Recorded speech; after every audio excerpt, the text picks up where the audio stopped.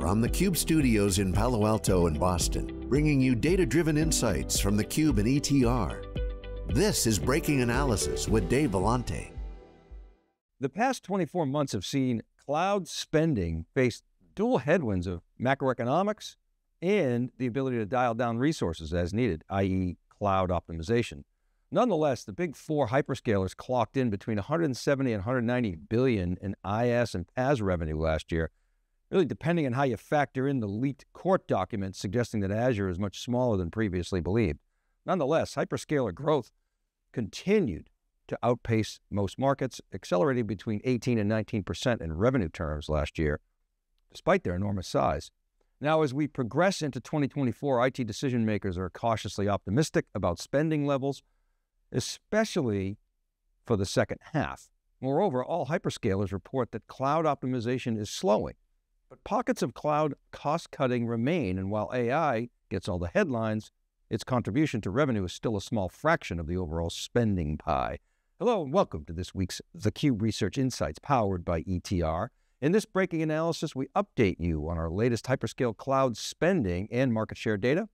We'll analyze the ETR survey data on cloud optimization, assess the AI lift for the big three US cloud players, and look at some of the industry trend data on cloud spend by each of these platforms. Now, before we get into that, let's review the macro spending climate. It's worth doing, even though we've talked about this before. The inflation data came in this past week hotter than expected. And of course, it sent the stock market reeling. But the interest rate sensitive NASDAQ continues to climb out of Tuesday's lows. This chart from our predictions post shows just how tied spending expectations are to the economic data. As you can see back in late 2021, as we exited the isolation economy, IT decision makers were expecting a whopping 7.5% spending increase for the coming year. Those annual spend expectations continued to contract as the Fed tightened. And those forecasts bottomed out at 2.9% and came in at 3.4% for the full year 2023. Now, the other good news is IT decision makers, ITDMs we call them, expect 2024 to come in at around 4.3% growth. But the caution is it's very much backloaded, with Q1 and Q2 spending in 2024 expected to increase 2.4% and 3.1%, respectively. And we think the reality is companies are staying cautious because they don't really know precisely what's going to happen. Uncertain visibility remains the case for most CFOs, hence the backloaded expectations from CIOs. The other key trend worth mentioning up front here is when you look at the sector spending, it clearly shows that AI is stealing from other sectors. This chart shows the distribution of responses from more than 1,700 ITDMs in the latest ETR spending survey, which took place in January. The data on the vertical axis represents net score or spending momentum. And the horizontal axis represents pervasion within a sector uh, uh, for that sector within the data set. It's a proxy for relative account penetration for each sector. Remember, this is this is a percent of accounts doing certain things, not a revenue projection. That red line at 40% indicates a highly elevated spending level. Now we're seeing cloud rebounding. Let's start by focusing on the cloud computing and that squiggly line. We've seen a steady deceleration in cloud spending momentum relative to the January 2022 survey when cloud computing was well above that 40% mark. And that deceleration trend is hard to see, but it reversed in the latest survey, bringing the sector back above the 40% line. And this is consistent with what we saw in the revenue data, which we'll review in a moment. Now, AI continues to steal budget from other sectors. That's the other key takeaway from the data. AI has gained notable momentum on both dimensions since the announcement of ChatGPT. And other survey data that we're not showing here indicates that approximately 40% or higher of new AI projects are being funded by taking money from other budgets. So that's why you saw a number of those sectors get depressed in the previous chart while AI shot up. So, where are we today and what is the impact of cloud optimization going forward? I want to share some comments from the leaders of the big three U.S. cloud vendors. The first one, we continue to see the diminishing impact of cost optimizations. As these optimizations slow down, we're seeing more companies turning their attention to newer initiatives and reaccelerating existing migrations. That's from Amazon CEO Andy Jassy. Satya Nadella said that period of massive optimizations only and no new workloads has ended at this point. So what you're seeing is much more of that continuous cycle by customers, both whether it comes to AI or whether it comes to the traditional workloads. And then finally, the cost optimization in many parts of the world are something we have mostly worked through. That's Alphabet CEO Sundar Pichai. Let's look at what the survey data says about cloud optimization. The data confirms Jassy's comments that cloud optimization has attenuated. The percent of customers indicating that cloud optimization is the primary cost cutting method has reduced dramatically from one year ago, as shown here. However, in the all important financial services sector, we continue to see customers citing cloud optimization as a primary method. That's 12% up from 5% in the October uh, survey, and 15% of retail customers say it's their primary method. The point is underscored by this anecdotal comment, which says the customers got good at dialing down and optimizing cloud. They've developed some sort of muscle memory here, and while they're tuning or turning more attention to innovation, optimization is still an important tool in the kit. But again, it is down significantly from a year ago, from the mid teens down to 7% of customers saying that that is their primary method. Now, it still could be the secondary or tertiary method, but nonetheless, this, uh, this data supports the comments of the three CEOs. Of course, the other big theme we listen for in earnings calls is Gen AI revenue. Here are some comments from the big three that are worth reviewing. Quote, if you look at the Gen AI revenue we have in absolute numbers, it's pretty big number, no doubt. But in the scheme of a $100 billion annual revenue run rate, it's still relatively small, much smaller than what it will be in the future, where we really believe we're going to drive tens of billions of dollars of revenue over the next several years. That's Amazon CEO Andy Jassy. Azure and other cloud service revenue grew 30% and 28% in constant currency. That's the number that we use in our forecast, including, this is astounding, including six points of growth from AI services, says Microsoft CEO Satya Nadella. We'll come back to that in a moment. And then Sundar Pichai, AI is definitely something which is driving interest and early adoption. And as you saw, greater than 70% of Gen AI unicorns are using Google Cloud. That's something that Google has um, trotted out as a key data point. I don't know how many of those unicorns are so-called zombie corns, uh, but and and the other point is, who knows what other clouds they're using? But it's a proof point, I guess, that uh, Google wants to put out there. All right, so let's take all that and look at the market data. Here we're showing data for the big four hyperscalers, both quarterly and full year. And this data, it comes from a combination of our interpretation of the financials. Remember, we're trying to pull an apples to apples comparison. We also look at ETR data and other information that we get from our community. For the quarter, these companies, these four companies, we include Alibaba here along with the, the big three US. For the quarter, these companies generated nearly $50 billion in revenue. AWS and GCP growth accelerated in the quarter, and Azure growth was flat, which now I come back to that's pretty remarkable given the six points of tailwind from AI services. So they're saying essentially it would have been 22% without AI, or Hmm, who knows? Maybe it's stealing from other budgets. AWS is now just about a $100 billion run rate business. Amazing. Now, Azure is a different story altogether. If you go by the public statements of Azure growth and the statements that Microsoft made saying that Azure comprised 50% of Microsoft's $110 billion intelligent cloud business last fiscal year, you can get to $71 billion in IaaS and PaaS revenue in 2023. But if you factor in the poorly redacted court documents, which we covered on Breaking Analysis last year, and you try to map to those figures, you can't. Azure, on an apples to apples with AWS's business, by that metric, comes in at 52 billion, significantly lower. Now, our hypothesis is that Microsoft agreed with the courts in that Activision case to define Azure in a more identical manner with respect to AWS's business, perhaps including certain security and other line items, maybe, for instance, certain legacy on prem Azure Stack revenue, which may be included in, in the Azure figures that Microsoft reports. So if you adjust for the court leak, you can't map to Azure's publicly stated growth rates, nor can you map to the 50% of the $110 billion claim. So that takes Azure market share, when you try to do a true apples to apples comparison from the big four, it takes it from 37% down to 31% and bumps AWS up from 48% to 53%.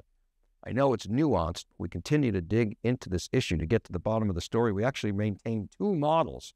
One is that one that maps to Microsoft's public statements about Azure, and the other one that tries to map to the redacted, poorly redacted court documents to be continued.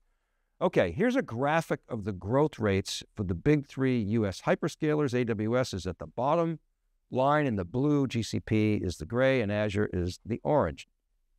You can kind of see AWS reversed the decelerating growth rate trend and actually grew sequentially from last quarter to 13.2%, up from 12.5% in Q3. And again, that's for a $100 billion run rate company, which is insane when you think about it, that they can actually accelerate growth at that size.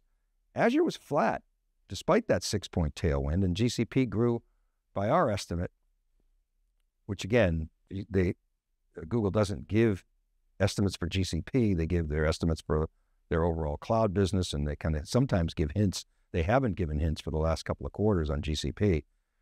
And part of that was all the analysts just wanted to talk about search getting disrupted. And so they really didn't focus on GCP. But but by our estimates, GCP grew. Um, but for its size and maturity, it should be growing much faster in our view. If you go back and look at where AWS and Microsoft were at Google's Google Cloud size, they should be growing much, much faster. And I guess that's the penalty you pay for being number three in the three horse race. Now, our assumptions basically follow the macro trends, with growth holding and maybe softening a bit in the first half, but picking up in the second half, bolstered by an ever accelerating contribution from AI.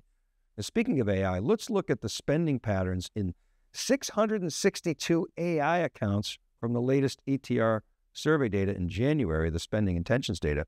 This chart shows net score or spending velocity in the vertical axis and overlap the penetration within those 662 AI accounts on the horizontal axis.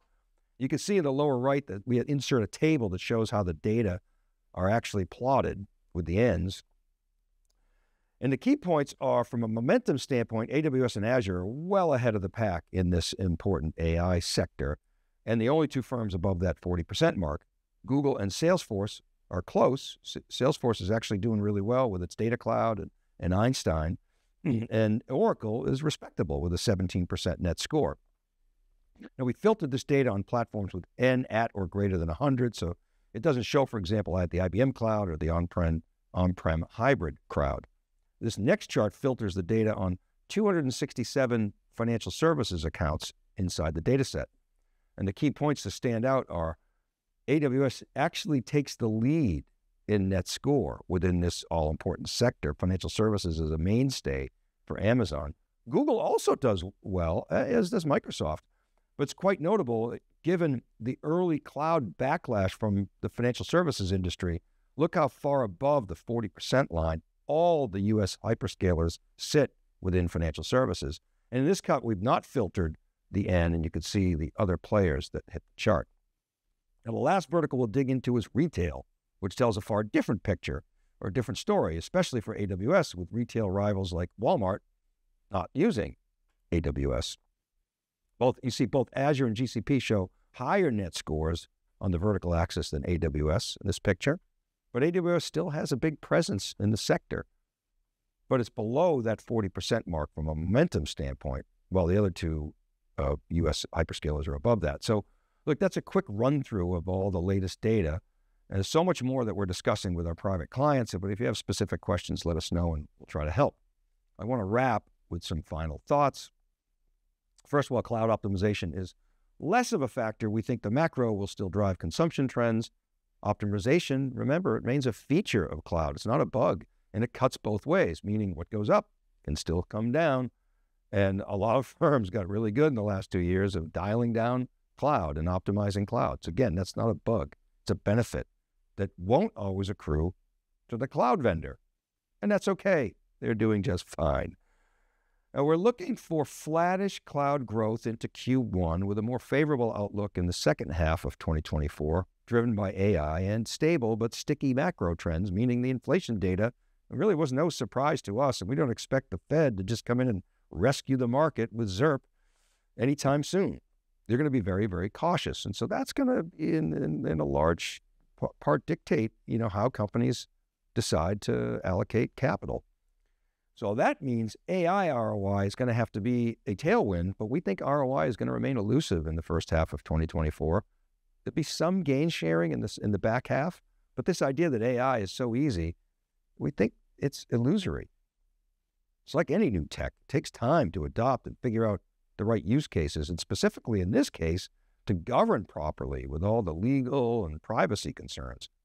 Now, the other theme you'll hear this year is so-called private AI that is the idea that domain specific smaller LLMs are going to be applied and deployed within industries like healthcare, like financial services, with proprietary data, even on prem. And as well, the other factor here is open source LLMs are becoming more viable and are going to be a bigger factor and an option for customers as privacy concerns and edge deployments factor into the decision making. Open source models like Llama could really commoditize the big language models. So the key is how the developers of such models deploy them. Microsoft's success with GitHub Copilots could be repeated with productivity software, but early reports are using Copilots for things like PowerPoint and Excel is still clunky. Google has a lot to lose with the 10 blue links on, on every page, and it's got its auction model, which optimizes revenue, has created the greatest monopoly in the history of monopolies.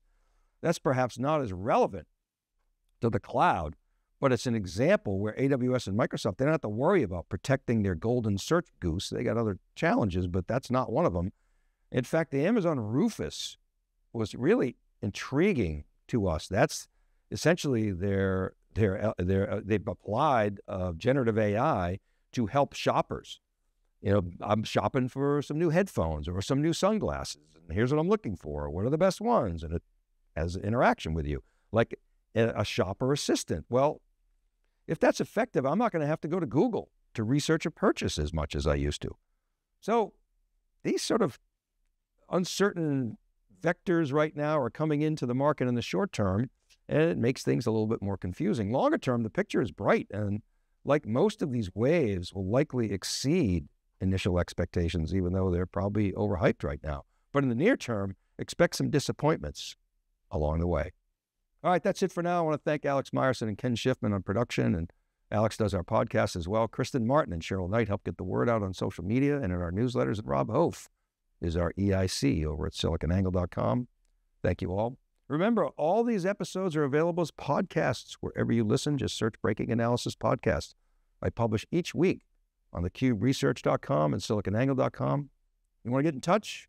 got a question, you got a pitch, email me at david.vellante at siliconangle.com or DM me at dvellante. You can always comment on our LinkedIn post. Please do. Make them thoughtful. And please do check out etr.ai for the best survey data in the enterprise tech business. They continue to innovate. Great partnership that we have with them.